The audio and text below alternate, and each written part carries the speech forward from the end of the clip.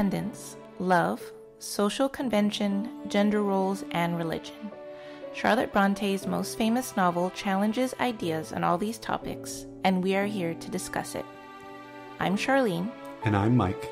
And this is Jane Eyre Files.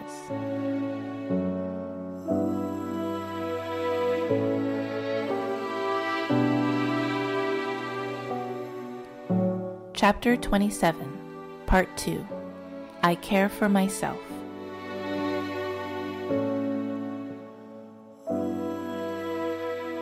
Hello, husband. Hello, my good angel. Oh, again, great choices. We are back. This this I wouldn't call it a bonus episode. It's just a jam-packed chapter, and we really needed two episodes to discuss the whole thing. So, what was? Uh, should we have like a recap or previously on Jane Eyre Files? What would you discuss in the previous episode? Well, we went over the lengthy SparkNote summary of chapter 27. So lengthy. But we're not going to repeat it here, so you're just going to have to go back to the previous episode and listen to that. And we talked a little bit about Jane's description of leaving Rochester and and Rochester sitting across the threshold of her door waiting for her to come out. And then the bulk of the episode was about Rochester's justification of his actions. We also mentioned how violent the Bible is. and how lunatic asylums were not a great place to be in that time. That's correct. So that kind of brings us into my second discussion point for this episode. Let's talk about the lunatic. yes, the nature of Bertha Mason. So, you know, the, Rochester justifies his actions by basically saying Bertha is not a great person. So let's let's let's look at how he describes her. But I feel like it's important to think that we're going to take what Rochester is telling Jane as the truth. That it's that he is telling her, you know, exactly what kind of person Bertha is and why Rochester finds it so difficult to be married to her. Yeah. Bertha's quite I mean she's a complex character. Mm-hmm. And I think as we've mentioned, you know, we did a March Madness style bracket mm-hmm. recently, Eyre Madness we called it about where you where you came up with 16 characters from the book and had them compete in a head-to-head bracket and for whatever reason the best character in the book finished in a second place runner up mm. to Bertha Mason which I was kind of shocked by and so we kind of get we need to get an idea of who she is because why all these many years later is she considered such yeah like I said a complex character where people are trying to find justifications for why she was mistreated perhaps mm-hmm. and so locked up yeah, and so and uh, I, we talked about it on the last episode. I still have issues with how Rochester tried to justify what he has done. Mm-hmm. So, but then it's like, well, let's talk. Let's talk. Let's talk right now. Let's mm-hmm. let's find out what was the issue with Bertha, and maybe could I come around on my decision of how I felt about Rochester once we kind of get to know Bertha. All right. Okay. Well, let's let's begin the fact that Rochester has had this whirlwind courtship and marriage and he didn't really get a chance to get to know Bertha. And during their honeymoon, he realizes he has made a big mistake in marrying her. Yeah, that's got to be very common in, in arranged marriages. Mm-hmm. You know, I'm sure there's a lot of couples that have been in that situation and faced the same problem. Unfortunate for him, there's apparently some sort of mental illness that was mm-hmm. accompanying that. But most people, I would imagine, even in arranged marriages, find a way to find a way to make it work, even if it's just to make their families happy. That's true. I mean, there's you know the way that maybe arranged marriages go, or the, people don't get along. You know, they're they're not compatible or as compatible as they'd like to be. And this is something that Rochester brings up that Bertha's quote nature whole, is wholly alien to his. Her taste obnoxious to him, her cast of mind common, low, narrow, and singularly incapable of being led to anything higher, expanded to anything larger. That seems like normal. That seems like normal disagreements between couples. All right. Well, then, how about this quote from Rochester again? When I perceived that I should never have a quiet or settled household because no servant would bear the continued outbreaks of her violent and unreasonable temper or the vexations of her absurd, contradictory, exacting orders. Yeah, and that's an interesting perspective that I hadn't thought of. Mm-hmm. You know, it's hard to find good help, yeah. right? And and when you're when you're reading this chapter and he's trying to justify by saying, "Oh, she was mad, and I didn't know this, and I love you, Jane." And you're like, "Okay, he's like you said, he's he's what I say in the last episode. He's painted himself into a corner." But then mm-hmm. now you're like, oh, okay, yeah, that, God, how hard would that be at that It's, time? it's also not just like, oh, Rochester thinks that Bertha is difficult. Apparently, the servants they don't want to even stay. They they don't want to bear this these her violent and, and unreasonable temper. yeah. So how difficult is that for Rochester to bear? And what's so funny is when we, I was talking about that when we did our Eyre Madness bracket, you made fun of me because I kept picking Grace Poole against some of the other characters, and you're like Grace Poole, and I'm like Grace Poole had to put up with Bertha.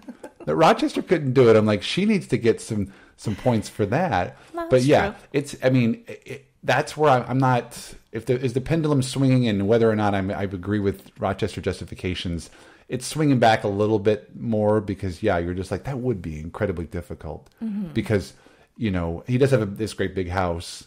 As long I guess all, all you gotta do is find one Grace that can kind of keep an eye on her, but still, it would have it would have made for a really really difficult time for sure. Right. And, you know, let's just go back again to Rochester saying that her nature is wholly alien to mine and that I guess he couldn't have like intelligent conversations with her. He felt like he couldn't talk to her. I don't know if that that that seems like that's kind of a big issue. Like maybe, you know, some someone in another arranged marriage they might, you know, gradually grow to have like common interests and things that they, they, they enjoy talking about. But the fact that he feels like maybe that he can't have intelligent conversations with Bertha, that she's very dismissive of him, maybe. And I just feel like that's uh, it's it's, it's going to be a little too difficult. I mean, some people you you can you know argue that arranged marriages can work out, but sometimes they can't, right? Well, and maybe he's spoiled. Maybe you know because Maybe- I'm maybe sure there's a lot spoiled. of. Well, I'm I'm sure there's back in that era, maybe married couples didn't talk. they just had the babies so Yeah, they could. she had her own room. He had his own room. Yeah, right? you know, I mean, I, I mean, yes, finding shared interest. You know, like there's some elements of this book that, for being written 175 years ago, do have modern qualities to it, mm-hmm. and there's some that obviously don't, like the idea of divorce. But the fact that you have a you have a protagonist, main well, I should say protagonist. Jane's the protagonist, right? But you have a Byronic hero character mm-hmm. who wants something more out of a oh. marriage. Yeah, Which is yeah. what some which is like what the kind of situation that people now right I, I feel like have a, you have a hard time marrying somebody without having a lot of great interest Well, or having I- some kind of I think that back then, you know, romances they weren't they weren't it wasn't as important to, for them to have this sort of mental connection. Mm-hmm. You know, they if they kind of physically liked each other or you know they had good manners or something that kind of that financial would be arrangement. enough. Yes. Yeah. So that would be romantic enough even for for a romance story that that's why they would fall in love. Whereas Rochester and Jane, you know, they take time. Charlotte Bronte takes time to build their sort of mental connection Mm-hmm. and how they love to talk to each other and how that's important. Yeah, that that we that's why we really want them to be together. Yeah, and that's what it, that's why this book is timeless. You chose a really good book to have as your favorite. To force you to read. well, I mean, you you didn't force it. It was I was really flattered that you bought me a copy at the Bronte Parsonage and asked me to read it. Yeah. And then I bought you a copy in the airport in Raleigh, North Carolina, as a to gift. add to my collection. Yeah, and we've since I've since bought you a few copies over the years as well. Mm-hmm. yeah. But yeah, now again, now that I'm rereading this, I'm picking up on stuff like that, which I Mm-hmm. never would have thought the first time around. Where it's like, how come characters? It's nice to see characters aspire to something more than what whatever where their station was in life. Mm-hmm. You know, again, can it justify the, the what he's done?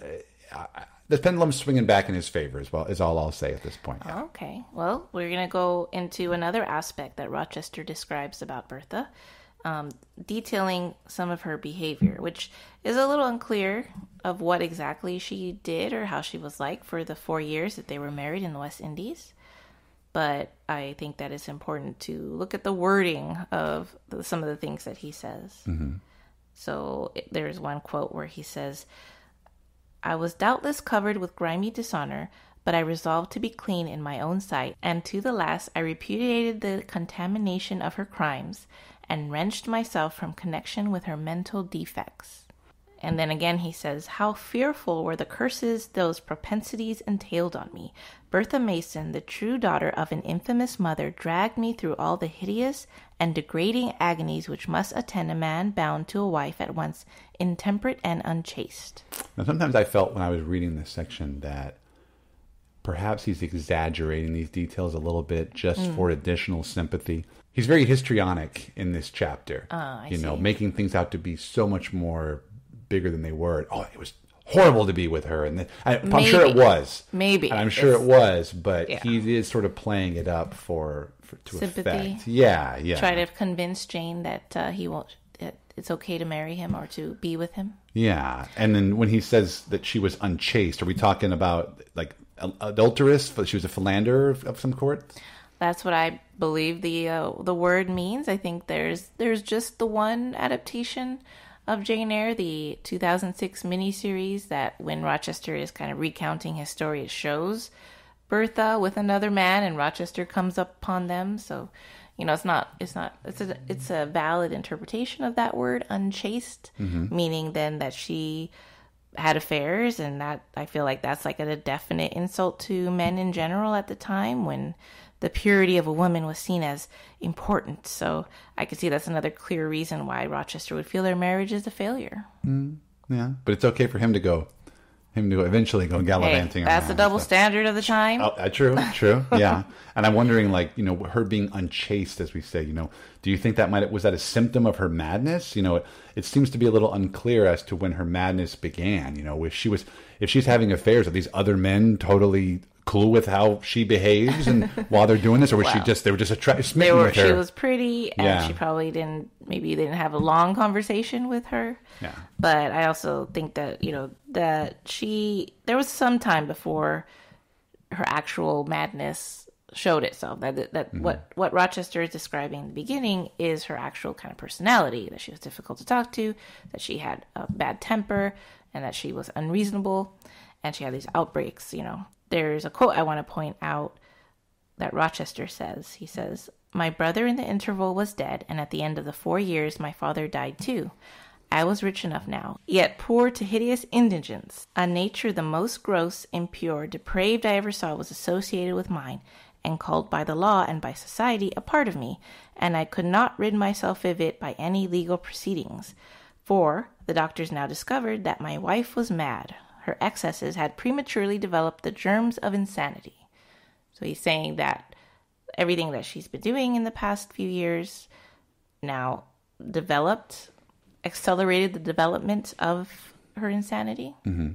And then, like, yeah, so I guess if she was having these dalliances with these gentlemen, they probably didn't care about making a mental connection with her. No, no. But then I, you know, I feel like there was one sort of interpretation I've read that the the explanation for Bertha's madness, also some of the physical characteristics that Jane describes of her having bloated features or purple features, mm-hmm. that that's a, a sign of syphilis. Oh. Now that she might have STD. Oh, if she was philandering, Yeah. then perhaps, yeah, okay. Yeah, I mean that's that's interesting. Not- Yeah, for sure. Obviously, I'm not sure if, how much Charlotte Bronte knew about syphilis and the the description of it of the symptoms. So I don't Yeah. know how accurately we could say that that is the case for Bertha. And what were the treatments back then? Just get the leeches. It's always the leeches. It's always the leeches. Never fails. And as we discussed in the last chapter, I, I want to believe that perhaps the Masons and the Rochesters together were not conniving to mm-hmm. keep things from him. But is that was that the case? Does it seem like you know? I wanted to give them credit, but I don't think you do. No, no, I, you know, the the way that Rochester says that his father and his brother really wanted them him to get married just so that they can make sure that he's taken care of because also I guess the father wants to make sure all the money goes to just the one um, brother and that doesn't break up the estate by giving half to the brother and half to Rochester. So uh, I think it's also interesting to note that you know in case detractors of Rochester might point out that you know Rochester again is is is all his point of view that he's seeing what Bertha has done and he's interpreting her as this awful being that there's another moment in Rochester mentions to Jane that you know they they had wanted that he is keeping his marriage a secret and that his father and brother also wanted to keep his marriage a secret to their acquaintances because as he says um, quote very soon the infamous conduct of the wife my father had selected for me was such as to make him blush to own her as his daughter-in-law hmm. another another outside view i guess of Bertha's actions and and the father isn't quite happy with Bertha's actions and nature. Yeah, but once again, if I may play devil's advocate, perhaps that's the same reason that the Mason family didn't talk about Bertha's mother. You know, this idea of it was it would make them blush. They don't. It's But then again, it's you know, it's you probably need to tell someone about tell the prospective groom. That seems that the error the the error wouldn't be that they maybe didn't want to talk about it because understandably they probably didn't want to talk about it. Yeah. But the fact that they deliberately kept it a secret because they wanted Rochester to marry Bertha and not Hmm. not back out for any reason. I guess. But again, there's some stigmas attached to it. We don't talk about Bertha's mother. No, no. Oh, remix. Yeah. And I think it's funny too that you know the way that Bertha's described by Rochester, her actions um, being so uh, infamous and outrageous that it's uh, kind of reminds me of some of the maybe more outrageous actions that people on reality shows of today do. Yeah, yeah. I mean, maybe. I just feel like that a lot of that stuff is is staged, or people Oh. they know that they, they know what they're doing. A lot Cameras of times. are on them. Well, yeah, and then, it. and a lot of times, you know, if they they would want to stand out above among the other castmates on these shows, Mm-hmm. because that promotes their brand. So that when the show is off the air, then you're that guy. Oh, I you're you're the guy from the Jersey Shore. You're the you're that one person from Survivor that got to be in a movie Mm-hmm. because you're the one that kind of stood out. But Oh, true. yeah. Well, the last thing that I, I did want to talk about before we move on from this discussion is uh, Charlene, you have the floor. I would like you to tell our listeners about the 1966 novel written by Jean Rhys called Wide Sargasso Sea. And I know this is a this is a you told me what this was, I said, "Ooh, that sounds interesting." And you said, "I hate this book." and for, just can we just tell the listeners what this book is? Give us the interpretation, real brief, about why you hate this and how it fits into this whole discussion that we're having right now. Okay, well, thanks for setting that up. Um, so yeah, you know, I think I mentioned in when we were talking about chapter 26 that the idea of Bertha being sort of more prosecuted, uh, sort of a victim of Rochester, and the, you know, like the the the more feminist outlook on Bertha started with the 1979 academic treatise, uh, "The Mad Woman in the Attic," but this predates that. This is 1966. It probably um, it might it might actually be more relevant to the idea of a more feminist interpretation of Bertha. And I will say that I read this book in high school, um, probably my senior year, I think. And I was, you know, After Jane Eyre or before well, Jane Eyre? after oh, okay. Yeah. I wasn't. I read it because of Jane Eyre Okay, okay, making sure. and you know it was it was uh my formative years and I was a huge fan of Jane Eyre. I've not um, tried rereading Wide Sargasso Sea again, but the idea that this book again has this feminist interpretation, also this like post-colonial interpretation of Bertha, you know, uh, being um, a woman who is kind of forced into this marriage to this man who doesn't really love her, and you know the, what what that kind of does to her, and the fact that she's in this kind of weird social status of being like a Creole, which at the time is like. I think I think Rochester says that her mother was a Creole, and a Creole being um, a, a, a person of European and African American descent so that you know being mixed race you know bertha might have had it a little bit more difficult in a, in a european in europeans eyes. Mm-hmm. So you know that i mean these are all valid points but i just did i just don't think that charlotte bronte would have really intended this view that you know rochester is not someone who's taking advantage of bertha you know obviously he he made a mistake in marrying her. He's making a mistake in trying to marry Jane, but he it started out with good intentions, and then now he's just uh, kind of rationalizing and justifying his actions because he wants to be happy. Yeah. I feel like, you know, ever since you told me about this book, I, I was like, it sounds interesting. And then you're like, no, no, no. Don't, and no, I know there's been some adaptations made. There's There, been some- there's been a couple of adaptations, yes, You know, and, and- it's just it, you know it does it just kind of shows maybe Rochester being more manipulative and taking and Mm. and wanting to yeah basically take advantage of Bertha and and just using her. So I just Hmm. you know it's just not quite the interpretation of Rochester that gels to me with to? me. Yeah. Well, what's funny was when I was doing a little bit of preliminary, re- just just very limited research on the the book, I did see like on the Wikipedia page, for example, it lists that it was on a couple of list of the hundred uh, best novels in Yeah, the last yeah. hundred years, or it was on, you know, and so now that having discussed Rochester's actions in our previous episode, and not trying to be contrarian, but now I find myself kind of wanting to maybe give Wide Sargasso Sea a chance just to see that perspective. We're not going to read Mad Woman in the Attic because I mean it's like I, I have a tough time with literary criticism. But Mm-hmm. if this is an actual novel that has been adapted into features, or maybe I could just watch one Watch of the, the movie. yeah, it'd be a lot easier, you know. But I, I, there is something about getting into the the mind of this this character that we know so little about. Mm-hmm. You laughed at me, but um, I will tell the, the listeners that we we had a conversation one time where I said we should write a book about what happened to John Reed, and you're like, no, I don't, I don't want that. And I'm like, it could be like Wide Sargasso Sea. Like, what was it? What did this character do when he stepped outside of this book? And I'm always fascinated by the idea of, you know, as long as it's it's not uh, true to the original author's intention or it's, it's not defamatory or whatever. The idea that you can take a, a, a literary character who's not really well developed and then try to make a book about that character, so like a spin-off, if you will. Wasn't there's the like the famous play um, Rosencrantz and Guildenstern are dead, right? Yeah, no, So that that's, sort I of idea. That's, that's always an interesting idea. I mean, that's Yeah. why I read a lot of Jane Eyre derived literature. Yeah, there's been a lot of modern isn't reinterpretations. Yeah, there's there's a ton. There's from Mrs. Fairfax's point of view. There's Adele's Really? point of view. So yeah, there's a lot a lot to read if you're interested. but nothing is rises to the level of Wide Sargasso Sea. I think probably the critical interpretation and the fact that it's very well written, you know, that elevates it more than the sort of fun reads that you might get with, uh, you know, a book from Mrs. Fairfax's point of view. Okay. At this point, I think we can probably just put Bertha back in the attic.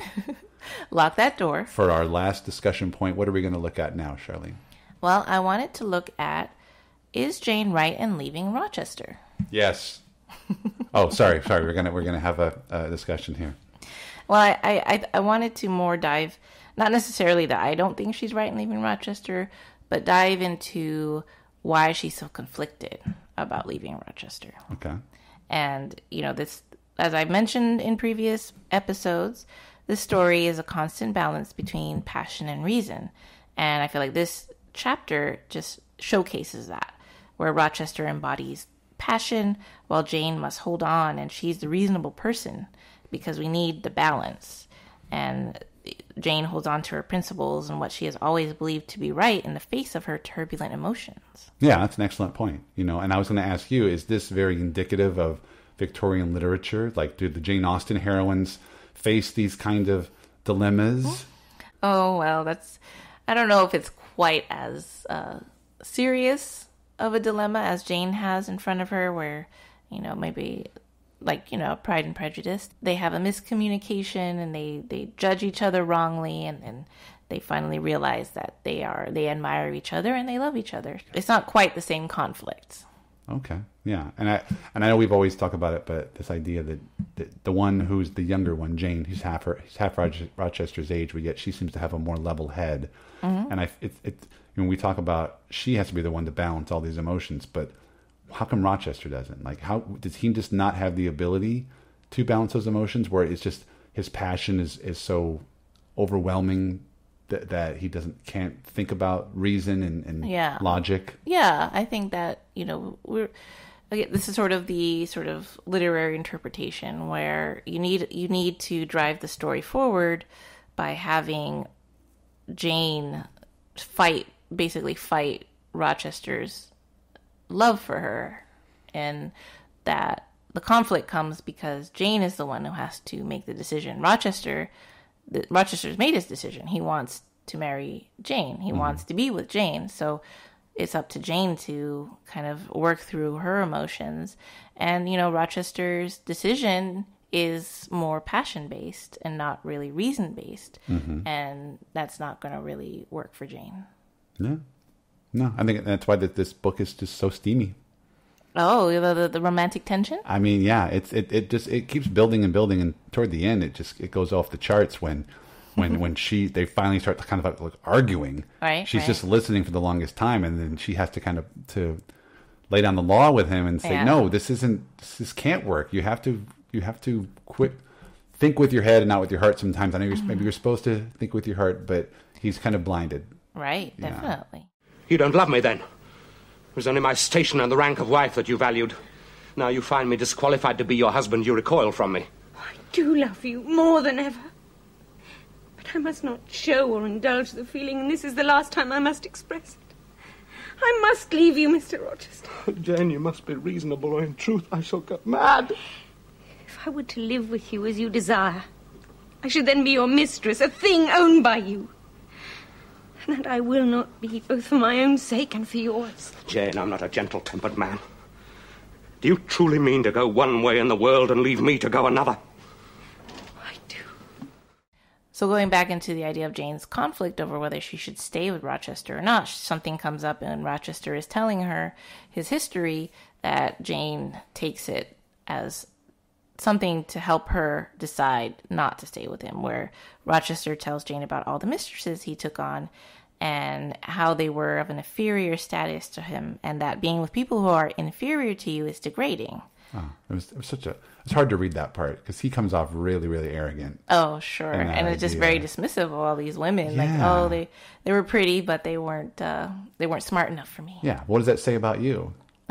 That you that you still He went for the pretty woman. He still went for it, even though even if they weren't stimulating him. Mm-hmm. Yeah, So yeah, Jane does take this to heart, and she uses that to remind herself that if she becomes his mistress, he might find it degrading to be with her in time. yeah, I totally believe that. You know, she could be the next in line, especially especially given her background and status. You know, that who's to say that she won't just be another feather in his cap? You know, I guess you know, I guess we want to believe that he's being sincere in his feelings for her, but yeah, there's always a chance that that you know, especially because, like I said, she's just the governess, Right. And I'm sure I, you know, we joke about like you're not supposed to fall in love with the governess. I would not be surprised if there were gentlemen who had who had these big estates that may have had affairs with affairs with the governess and maybe Mm-hmm. told them, "Oh yeah, yeah, I'll leave the wife," and then they don't or something. Right, so this that part's kind of easy to believe. And also, I, I just don't.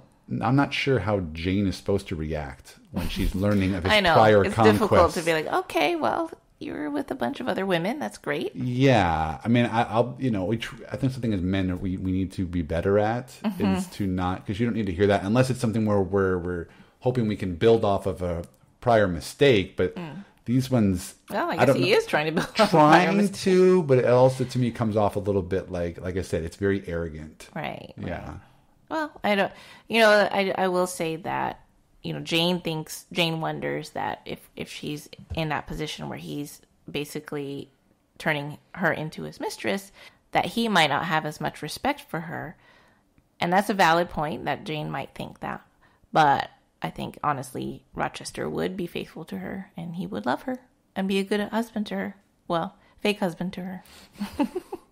Well, to wrap up our discussion points here for this episode, we talked about the nature of Bertha Mason. Was she deserving of the top or the second spot in the Eyre Madness bracket that we set up? yeah. Well, again, I, it makes me want to revisit this character, Uh-huh. and if I have to read Wide Sargasso Sea to do it, Yeah, I, I, I wonder because I always thought of it as what was she a clothed hyena?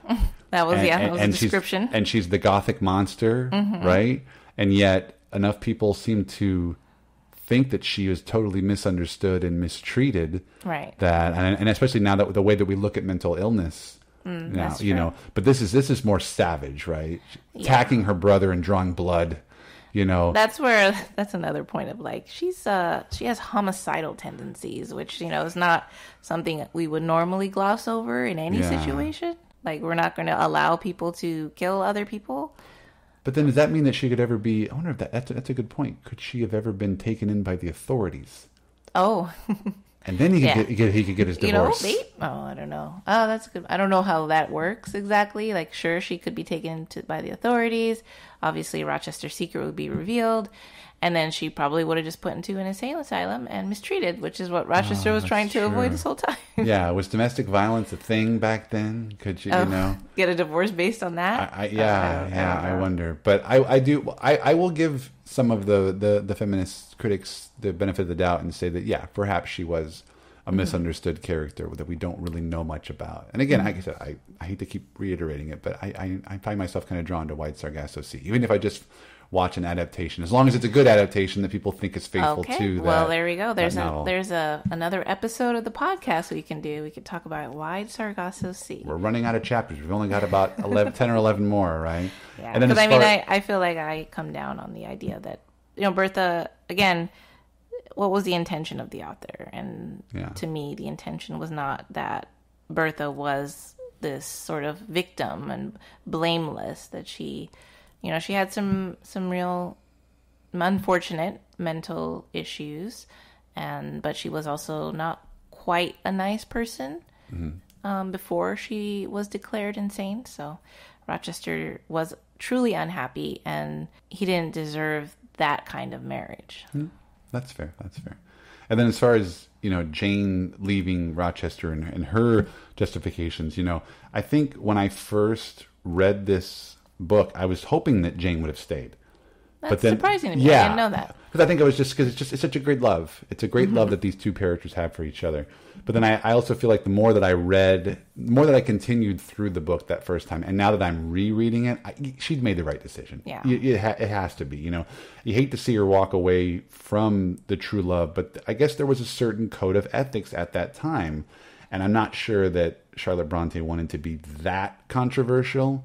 It's In still just the, the idea that she would have stayed and been a and been the Oh, mistress. been like mistress. again, Oh, this is the autobiogra- the autobiography of this character. You Yeah. don't want it to be like, oh yeah, I accepted this as the as the second as the other wife. You know, there's a reason this book sta- has stood the test of time like that, and I'm Mm-hmm. wondering if if Charlotte had gone down a very controversial path. Mm. Which probably, I mean, it was probably it was very notable for its time, right? I mean, it got Yep. it probably was a lot of there was a lot of buzz surrounding it, but Yeah. the fact that she didn't go too far off in that end, where it would people who would have might have dismissed it a lot easier, because I'm sure that just people been would have offended. yeah, I'm sure that people had their religious sensibilities about them in 1847. So, yeah, yeah, I mean, I, I also think that Jane made the right decision. That this was for you know, this is something that she did for herself. Like she was strong enough to not give in to the temptation of you know, uh, uh, uh, being in love with Rochester and living this easy life. You know, she wanted to hold on to what she's always thought as being right. You know, she has her she has her belief in God. You know, maybe Helen Burns helped her out a little bit with that. I wasn't going to say anything, but yeah, I'll say something. Helen Burns, Helen, her best character in the book, better than Bertha. Well, yes. Okay. I'm glad we've settled that point. We we have a, we are agreeing on that. Mm-hmm. So, final thoughts for chapter 27. Jam-packed chapter. Yeah, and my favorite part of this chapter is hearing Rochester's version of meeting and falling in love with Jane. It's just so lovely to get this clarity on his actions from the very beginning.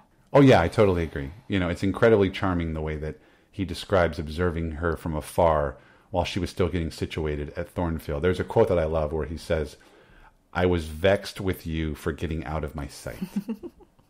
Yeah, I mean Rochester's swooning with love from almost the very beginning. And he, he watches and he's watching her closely and constantly testing her reactions to him. Again, something he says in, in this chapter where his fixed desire was to seek and find a good and intelligent woman whom I could love. So hmm. here he here she is. Yeah, and I think maybe perhaps he's following, you know, a moral code and not immediately falling for the governess, or at least letting her know that. You know, got to play hard to get, I guess. Mm-hmm. But it it is also very uplifting that someone as plain as Jane could attract the eye of such an eligible bachelor. True. Well, you know, beauty is only skin deep. Mm-hmm. so what do we what do we have for interesting context from this chapter? Because I thought this was quite interesting. Thank you very much. Yes, I think this is a great little anecdote uh, that, that kind of gives us a little bit of insight into the impact of this story. Where in your copy of Jane Eyre, you might have noticed that Charlotte Bronte dedicated the novel to William Makepeace Thackeray in the second edition because she was a huge fan of his. Um, he was the author of Vanity Fair, which was published in installments the same year as Jane Eyre. Vanity Fair tells the story of a governess, although Becky Sharp is a little different from Jane in that she's more of an anti heroine and with a lack of morals. I feel like this is one of those novels I've heard of. I mean, obviously, I grew up with the magazine, which got Oh, its name from that. yeah, yeah. But and I did. I was looking. I mean, I, I can picture the movie poster with Reese, With- Reese Witherspoon. Oh, yeah. But I did look and see. I forgot in the early 1930s, my favorite actress of all time, Myrna Loy, played Becky Sharp in an Oh. adaptation of Vanity Fair, which I, I I read that she plays him as as a very loose moraled woman. Oh, right. in is that is that hard to find that adaptation? I'm sh- I, I'm trying to think if I've seen it or not, but I'm, I'm sure we could try, I could track that down. Whenever we'll, we'll go through Myrna Loy's entire filmography one day, Oh, or- yeah. or one year, I should say. Uh, let's let's compare Vanity Fair to Jane Eyre. oh yeah, absolutely, yeah. Um, I, like that. That's why I was kind of curious if there were any other if there were any other differences or similarities. But the fact that Charlotte Bronte seems so enamored with, with Thackeray's work is kind of I wonder if it's sort of if, if it had any kind of influence or, at all on her. Yeah. Well, the funny part of the story is that Charlotte Bronte did dedicate the novel to Thackeray, um, but since this novel was still published under a pseudonym, there was a lot of speculation about the identity of the author, and some people thought that maybe the author was a governess in Thackeray's household because, in another huge coincidence, Thackeray's wife suffered many years of mental illness. Um, it was thought that she was schizophrenic and she tried to kill herself on multiple occasions. So Thackeray had to send her to different private asylums in France and eventually a care home near him. That yeah, that, that's that's crazy. No pun intended. Uh, but then, you know, is there any chance that Charlotte may have based Bertha on Thackeray's wife? No, I don't think it was generally known about the the state of of his wife, um, and I, I'm pretty sure Charlotte did not know about Thackeray's wife because, while we don't know her reaction to finding out about her, uh, I imagine she must have been pretty mortified about the coincidence, especially with the rumors that you know the author of the novel was Thackeray's governess. There's a governess right there. yeah. Now, in our previous episode of this podcast, we mentioned that there was another casting call audio to share with our listening audience here. So, Mike, can you tell us how you came across this audio? Well, I mean, I have my back channels. Oh, I do have, you? I have some connections. The dark web, huh? Yeah, yeah. But I will say that apparently, some point in I think I don't know if it was the late '70s or early '80s, there was going to be a musical version of Jane Eyre. Like a film musical Yes. version? Oh, yeah. I, I don't know if it was going to be done in the style of a rock opera, which was really popular at that time okay. or not. But would you believe? I mean, I think it's inspired casting because he's handsome, Really? Mm-hmm. he's dashing, and the man can sing. But one of the people under consideration for the role of Edward Fairfax Rochester was the great Neil Diamond. No. Neil Diamond? Neil Diamond. Oh, bringing his dulcet tones to Mr. Rochester? He is he is a, he's a, he is an American legend, Mm-hmm. and I know that this book is not American, but what best? What better way to bring the British novel to life by casting an American legend? But yeah, that's movie producers for you, right? Right. And so we are. We do have the. It just it's just audio only. I Mm. don't. I don't. We don't have video for it. It's just it's just audio.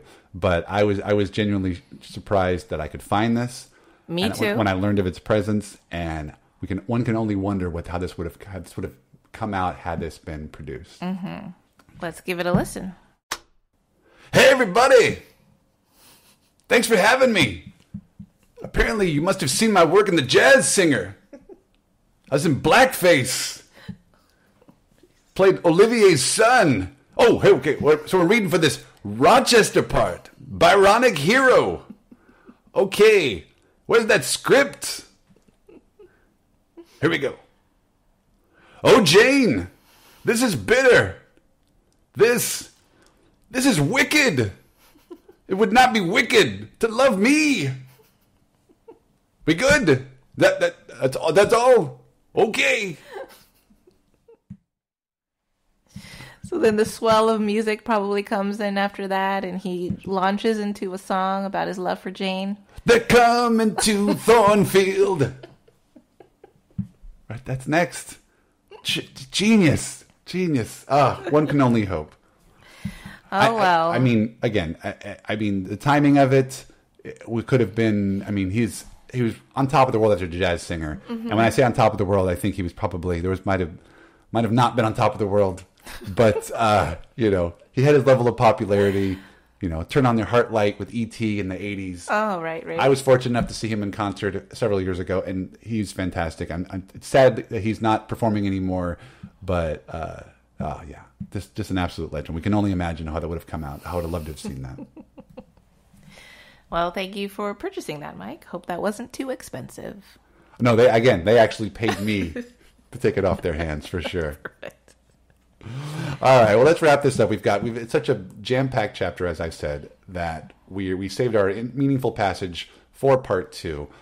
Charlene, how can you even possibly find one passage from this chapter that sums up that that really kind of pulls at you the, the, the most? I, I'm very curious to see where you're going to go with this. What is the most meaningful passage or quote from this chapter for you? Well, Mike, it's very difficult to pick one passage out of this chapter because there are a ton of quotes that I really love. A lot of really emotional and meaningful uh, quotes, but this one I've picked, um, I've always really liked it. And I think it supports my viewpoint that Rochester is a character that I sympathize with more than anything else.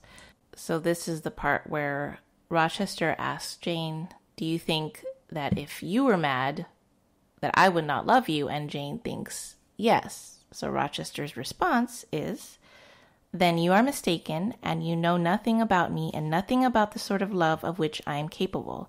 Every atom of your flesh is as dear to me as my own. In pain and sickness, it would still be dear. Your mind is my treasure, and if it were broken, it would be my treasure still. If you raved, my arms should confine you, and not a straight waistcoat. Your grasp, even in fury, would have a charm for me. If you flew at me as wildly as that woman did this morning, I should receive you in an embrace, at least as fond as it would be restrictive. I should not shrink from you with disgust as I did from her. In your quiet moments, you should have no watcher and no nurse but me, and I could hang over you with untiring tenderness, though you gave me no smile in return, and never weary of gazing into your eyes, though they had no longer a ray of recognition for me. So that's something that we that can't kind of came up in our in our discussion of like how difficult it must be to take care of someone you married to who maybe is suffering from mental illness and is and mm-hmm. maybe they're not quite the same person that you married where rochester is saying in this passage that it's not the same as he would not treat jane like he's treating bertha because he didn't love bertha but he loves jane and he mm-hmm. would he would take care of her and he would love to take care of her Yeah, I mean, I I, I totally agree. I that was actually one of my. It was in the running. right okay my, I do have it in my notes right here, page two sixty six. Every atom of your flesh is as dear to me as my own. right You know that Yeah. is that is kind of very charming. It's just a very yeah, very romantic moment. You know, you even if you you kind of think, oh, Rochester, how terrible of you to lie to Jane and and try to like trap her into this marriage. Well, he does really love her, and that's something that Jane says too. Of like, you know, her conflict over whether she should stay with him. Of like, no one is ever going to love me like Rochester loves me, and that's uh, you know, very powerful. oh, absolutely. Yeah, that, that that's a very good quote to pull. Yeah. Well, let's let's hear the quote that you did pick then. Okay, well, mine uh, comes from later in the chapter. I mentioned that the dramatic tension builds up when Rochester starts talking about how they first met, and then they start they got to kind of go into an argument, and Jane kicks off the argument by basically saying like, "Don't bring this up," and, Oh, and so in specific, um, the the exact quote begins like this. Quote, Don't talk any more of those days, sir, I interrupted, furtively dashing away some tears from my eyes. His language was torture to me, for I knew what I must do, and do soon. And all these reminiscences and these revelations of his feelings only made my work more difficult. Because like you, you there's you, as you're reading this chapter, you're thinking like, okay, is she going to go along with this? Oh. Because he's doing all this talking. Oh. Yeah. I mean, we're talking. There are page-long monologues in this chapter, and you're thinking, okay, is he? He's just, is he a it salesman? working? Is it working? and she basically just just cuts him off and says, "No, I mean, I'm crazy about you, but this isn't going to happen. This can't Yeah. happen." And I don't want. And the more you talk about those, how you, because it is sort of manipulative in a way. Like we mentioned, how oh, it's so charming that he talked Yeah. about how he felt about her the first way, and it's like now you're telling me That's true. at like the worst Would have been nice time. to come up a little earlier. Yeah, they were and so it's, it's engaged. It's just this way. We've we've seen that he can be a little manipulative, the way he treated uh, Blanche and stuff. Mm. And so now he's just like, well, I'm gonna, I'm probably gonna lose you, and now I'm gonna I'm gonna try to be just as just most heartfelt and emotionally. You know, Well, truthful, you know, expressing Yeah. his true emotions. and so it's just like, how dare you bring this up now and tear at me because you know I can't stay. And so that's, That's that. true. That one really hit me. Yeah, that's a good strong moment for Jane, where she, you know, I guess you, you were saying you weren't sure where where it was going, like if she was going to stay with Rochester after all this, all these pages of text, and Mm-hmm. now that you saw that line, you were like, okay, Jane's still, she's still on the right path. Is that what you're thinking? Yeah. well, again, this was this was just a, a fully loaded chapter. I appreciate the listeners sticking with us and letting us do two episodes. I hope you enjoyed them both. We'll get back to the normal chapter length, I think, Yeah. for the next episode. Even though we're going to be down one main character, so we'll uh, Right, right. see what we'll see what happens next. Totally different story now, but I'm glad that we spent a lot of time on this one because this is a very important chapter. Yeah. Thanks for sticking with us. Thank you so much for listening. If you enjoyed our podcast, please subscribe and leave us a review on your preferred podcast platform. This really helps us grow and reach new listeners. If you want to talk Jane Eyre with me online, you can find me on Twitter and Instagram at EyreGuide. That's E Y R E.